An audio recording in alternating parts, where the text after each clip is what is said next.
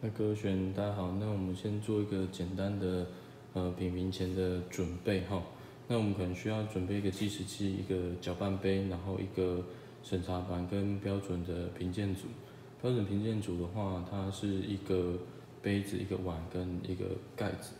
那在放置的时候呢，我们会把杯柄朝向右边，然后盖子的孔也朝向右边，这边。那个到时候水倒出来的时候才不会烫到自己哈。那审查盘的话，上面会放上我们的茶样，那最好是在自然光的状况下来去做评审哦。但是在家里面如果没有办法的话，我们可能就是呃用比较在比较明亮的地方来做呃茶叶的评审哈。那最好是一个比较舒适、恒温、恒湿的环境哈。就目前现在有。开冷气大概在二十五度左右，那各位可以看到哈，就是我们已经正好茶放在杯子里面了，大概就是三公克，就是我们那另外的话就是我们的码表已经设定到六分钟哈，那所以我们等一下就会来注水。那注水的时候因为温度很烫哈，所以我们会先注到这个搅拌杯里面，因为壶口在烧的时候它的温度可能会。比较高，那会影响我们就是评审的时候第一杯的状况。那大概就是淹过汤匙就可以了。那我们等下会进行注水。那这个部分我们会进行注水哈。那注水的时候呢，就是到注水到达杯缘的时候，我们就会开始计时。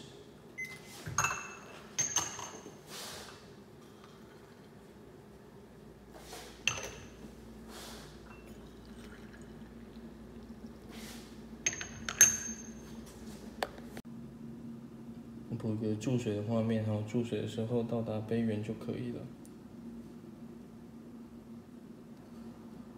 像这样停止就好了。然后那不要尽量不要让水满出来。那时间快到的时候，我们就要来准备了。泡的时候呢，把它拿到杯子上面以后，再快速的往下，尽量不要让水滴到桌面上。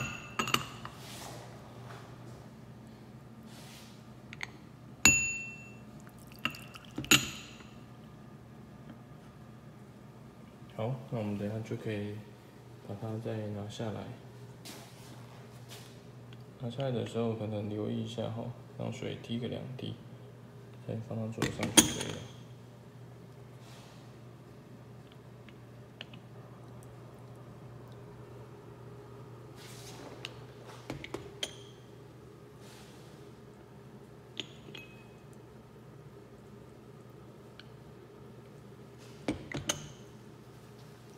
稍微做一下等待哈，等待它的温度，呃，在手摸的时候不会烫的时候，大概就是到四十度左右就可以来做嗅闻的动作。那在出汤之后呢，我们会做一个简单的计时，那通常是七分钟，我们会希望它的温度降到我们可以去做嗅闻的状况。那通常就是手摸这个杯子，它不会觉得烫，大概就是在四十度的上下，哈，这样就可以来去做。嗅闻，那在嗅闻之前呢，就是我们会将茶汤做搅拌，然后让里面的茶渣做几种。那大概就是画一半哦，就是再画一下，然后将水刮掉，那再将在这边做清洗，这样就可以了。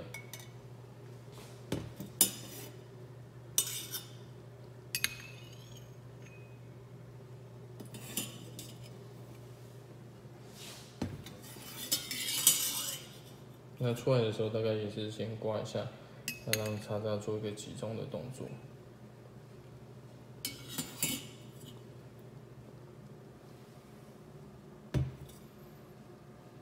那过了一阵子之后呢，就是它会因为旋转的力量，慢慢慢慢将叉叉集中在中心的部分。那这样的话，我们在审查的时候会，呃，就是审视茶汤的时候会比较清楚。那再的话，就是我们看一下这些茶叶的外观哈，这个部分是金子的部分。那金子部分呢，它的外观稍微比较大力，而且比较均匀一点。好，那每一颗其实都差不多，虽然会有一些黄片的状况。那在等待温度的同时呢，我们也可以看一下茶叶的外观。那这个部分是金蛙的部分哈。那金蛙我们可以看到，那茶叶相当的紧结油亮，然后相当的匀整哈，大小粒不会差太多。虽然有一些就是比较老的部分，各位可以看到这个地方它稍微的比较呃偏黄哈，那可能就是采摘的时候那个茶叶它是比较纤维化的部分。那我们看在就是樱花选的部分呢，它大小粒就会有一点差别哈，这边有个小的，那这边有个大的。那大的部分呢，它可能稍微比较纤维化，所以颜色呈现比较黄色的状况哈。那如果说它的纤维化再更严重一点的话，就是我们所谓的黄片。那在这个部分呢，就是茶叶的匀整度是比较重要的哈。如果它大颗小颗。差异比较多的话，在取样上面就会比较，呃，有误差哈。有时候取到大的，有时候取到小的，那茶汤的变化就会比较大哈。那再我们看到铜蛙哈，铜蛙的部分呢，它就会相对比较细碎一点，然后茶叶的那个状况呢，它就是有非常小的，跟有非常大的哦。那有部分黄片，然后梗外露在外面，外露在外面。那这个部分呢，可能就是在我们取样的时候就很容易造成误差。它有时候取到大颗，有时候取到很小颗的，那它在比赛的时候就会比较不稳定哈。那一般在做茶的时候，这些大小颗的时候，呃，它的风味会有点不一样。那尤其是在有机茶的部分哈，有时候茶性条件不一样，它在微调程度在抓的时候，大小叶子的差距可能会稍微比较。大一点，所以这种状况尽量避免哈，尽量避免。好，那我们来看到茶汤哦，茶汤的话几乎都是嗯黄色偏黄，哦，金黄到黄的状态。那这个都其实都还蛮标准的哈，都还没有蛮标准的。那今天的水的 TDS 大概是在十五左右哈。可以看到，就是樱花，就是铜蛙选的部分。那这个时候呢，就可以开始来做注记哈。那这个是我们清香型球形乌龙茶 Tex 风味分类呃分级的评分表哈。那我们可以看到哈，在左上角这边是我们的茶样编号，那日期还有评审的姓名哈。那综合评价呢，是我们最后要写在上面的哈，它它是特选、精选、优选还是不入选？那这个部分在就是呃数位教材的部分有提过哈，那这边就相对提的比较快一点点。那我们刚才看到哈，外观的话，我们的刚才的那些就是外观通常都在草绿到墨绿之间哦，还没有到青绿或者是浅绿的部分。所以它一般来讲色泽区间是比较合理的哈，那除非有一些黄片，它可能会在比较浅绿的部分，我们就着于扣分这样子。那形状的部分呢，就是它目前都还算紧结，哈，匀整的部分那个就是大小颗，它可能就会有很大颗或是很不小很小颗的，或是目前没有看到揉的 OK 或揉的不不 OK 的的茶混合在一起哈。就是大小颗的部分，那在水色的部分呢，我们大概就是在就呃麦黄到黄褐之间吼，那所以说其实，在有机茶的这个区块应该也是还可以的吼，因为它发酵度稍微比较大，比较重一点吼。那明亮度的话，就是在浑浊、暗淡、清澈、明亮跟其他的部分来去做勾选吼。那我们刚刚看起来。应该都是在清澈明亮的部分。好，那接下来我们就会来去做嗅闻的动作。好，那时间到的时候，我们会稍微摸一下这个杯子，看它是不是还会很烫手。那如果没有很烫手的话，我们就可以进行嗅闻。那嗅闻的时候呢，就是看你要不要稍微上下颠倒一下这个杯子，然后让这个杯子里面的茶叶有一个翻动的动作，哦，那这个风味会比较明显。大概像像这样子，轻轻的晃动一下就可以了。那这样的话，就是我大概会左手持这个杯子，然后右手打开这个盖子。那在就是嗅闻之前呢，我会看一下就是茶叶的状况，好，茶叶状况就叶底的部分，那看看它是不是有混拌，然后呃它的颜色状况 O 不 OK，或者是发酵程度 O 不 OK，那这边就是会在心里面做一个简单的印象哈，那再去做嗅闻。那嗅闻的时候呢，就是把鼻子凑进去嗅闻，那长吸短吸都可以看自己，呃。在什么样的状态下可以比较截取到你想要的风味哦？那在这样的状况之下呢，我大概就可以嗅闻到一些呃茶叶它基本的风味哈。那在这个状况之下，因为它发酵比较重，在果香的部分或者在花香的部分就会比较偏向浓香或者是比较甜感的一些水果哈。花香的话会有一点点像桂花香。或是栀子花香，那甜香的部分呢，会有牛奶哦，然后呃蔗糖，或者是像一点点黑糖或枫糖的感觉哈。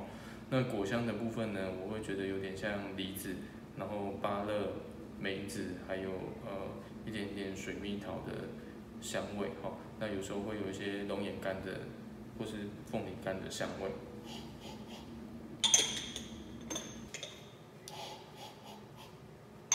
那桐花的部分呢，它就是嗅闻起来，它有一些我们刚才说的那些甘甜的味道哈，还有一些花香。那它也有一些比较明显的一些青草味，还有一些木质的味道。那呃，一般在以往的评鉴里面都会说它是一个比较呃杂乱的味道哈。那就是它的干净度就会稍微比较差一点。就是呃，我个人的形容是。一个是在报纸上面写毛笔，那另外一个是在白纸上面写毛笔，吼，就是那个笔画写的很好，那个字写的很好，但是它的背景有点混乱，所以一般来讲，我们在嗅闻的时候会希望这个呃茶它的风味是干净的。那在银花的部分跟金花的部分呢，它的茶是呃就是叶底的味道呢，闻起来都是相对干净很多。那在银花的味道呢？它味道除了干净很多的之外呢，它也是有一些桂花香，然后月兰花香，那还有一些就是呃梨子、芒果，然后凤梨干的味道。那它的味道呢，稍微比较纯粹一点，好，所以我觉得在这个区块，呃，银蛙的部分可以跟铜蛙去做一个很明显的区隔。银蛙的话，它的那个干净度跟纯净度就好很多。那再的话是金蛙哈，金蛙它的干净度一样是很好。那它呃风味闻起来是比较偏清香型的，我觉得它发酵程度没有那么的重，那也相对的比较干净一点，有比较重的炒米香，然后一些兰花的香味，玉兰花的香味，然后呃。梨子我觉得都会有，然后一些青梅的那个韵感哈，然后再来一些呃，就是有点像比较像比较清爽的一些风味。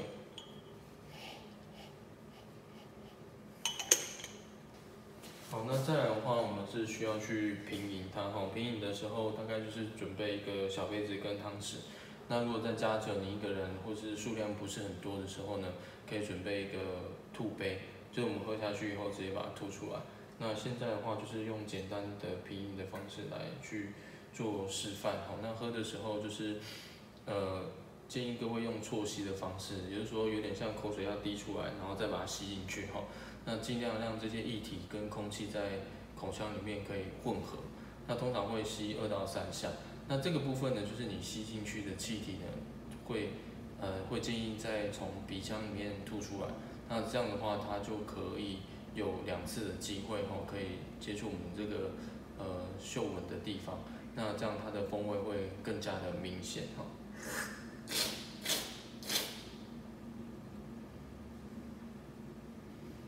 这个部分呢，就是桐花的部分，它就我们刚才嗅闻的那个状况哈，它是稍微比较杂乱的风味。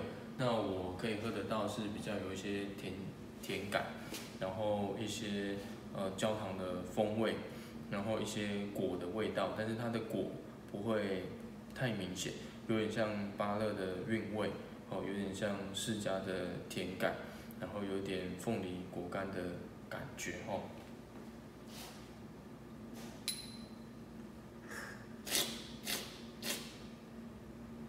那银蛙的部分，其实它干净度就比铜蛙好很多，那它的风味也相对的明显很多哈。我觉得有一种就是芒果干的香甜，凤梨干的香甜，哦，然后还有一些就是牛奶的韵味，那伴随着一些桂花的香味哈。那我觉得这班茶其实就相当不错。那为什么它排在银蛙？我觉得是因为它的发酵程度稍微比较重一点哈，就是离清香型的距离也稍微远一点，所以我们把它放在银蛙的部分。那金蛙的部分，它就比较偏向清香型，也比较清爽。那它花香的部分，兰花香、桂花香，还有玉兰花香的部分，就会相对的比较明显一点。那甜感就是有点奶油的味道，然后呃蔗糖、黑黑糖比较呃，我觉得银蛙比较偏向黑糖，那这个金蛙就会比较偏向蔗糖哈。那在果果子的味道就会比较偏向清爽的果子，青梅、芭乐，就它的韵感比较像青梅、芭乐或是香蕉等等这些比较特殊的香味。那青草味的部分在金花、银花就比较少，那在桐花的部分会稍微比较的，呃，比较明显能够喝得到，有点像青草味，有点像竹叶的这些风味哈。那在这个部分呢，可能各位也要再留意甜感的部分，呃，抱歉，也要留意滋味的部分哈，就是我们在喝的时候，同时要把这个呃积分表放在旁边，那如果可以的话，就是尽量把把它做。记录哦，尽量来把它做记录。那在滋味的部分呢，我觉得，呃，先说口味的部分好了。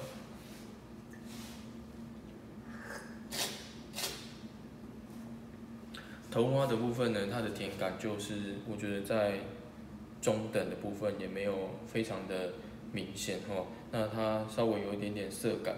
那在苦的部分是稍微哦，没有那么多的。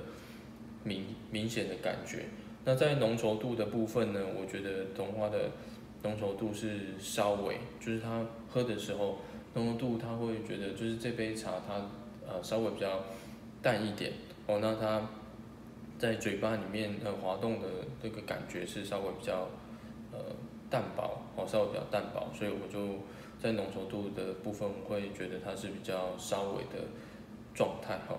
那在余韵感的部分呢，它也是稍稍微，就你喝进去，它有一些甘甜的感觉会反上来，但是稍微的比较没有那么的长久哈。那滑顺滑顺度的话，我觉得稍微也是稍微哈，因为它喝起来的时候还是有点粗糙感，还是有点粗糙感。那纯净度的话，我就觉得也是稍微哈，它纯净度毕竟没有那么的好，会有一些就是青草的杂味在里面哈。那细致度的话，我会觉得也是像稍微哦，所以就是它其实有优点，但是并没有说非常非常的明显哈。那各位在喝的时候就可以透过这个方式，赶快来去做一下记录。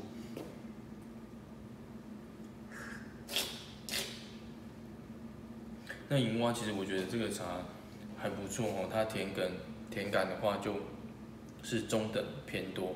那鲜爽度的话，我觉得也是中等偏多的部分哈，苦味还好，苦味还好。那浓稠度的话也是中等偏多，余韵感的话，我觉得是非常，哦，它的那个余韵感很好，那甜度甜感都相当的高哈。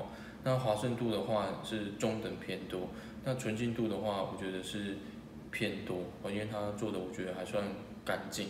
那细致度的话是中等的部分，因为它有些味道还不是那么的平衡。那再来是金蛙的部分。那金蛙的话，它的干净度就好很多。那比较像我们刚才说的，比较像清香型哈。甜感的话是中等哦。那苦味的话，我觉得是没有。鲜爽度的话，我觉得是偏多哦，它有一个比较亮丽、比较清爽的感觉。那在口感的部分呢，浓稠度我觉得是中等哦，那余韵感的话是偏多，哦，我觉得它的余韵感也跟那个银蛙一样是相当好，但是是呃不一样的状态哈。它的那个余韵感比较偏向花香，比较偏向花香。那这个银蛙的部分呢，它是比较偏向果香，哦，金蛙它比较偏向花香，银蛙它比较偏向果香。那在滑顺度的部分呢，就是金蛙，我觉得好很多哦。它在喝的时候，你会觉得，嗯，它比较呃圆润滑顺，那纯净度也比较好，它干净很干净，然后味道很纯粹哈，所以我觉得它是偏多到非常。那细致度的话，我觉得它算是中等偏多，好，其实两半都差不多。如果说，呃，就是。在伯仲之间呢，那当然它的干净度跟平衡感好一点哦，所以在选择的时候会把它排在金蛙的部分。那再来的话，最后会建议各位，在就是品质描述与建议的地方，再想加做一些你的心得感想哦。那将来就是可以给茶农或是被品评的人做参考，他可以可以去做一些改进跟修正。好，以上。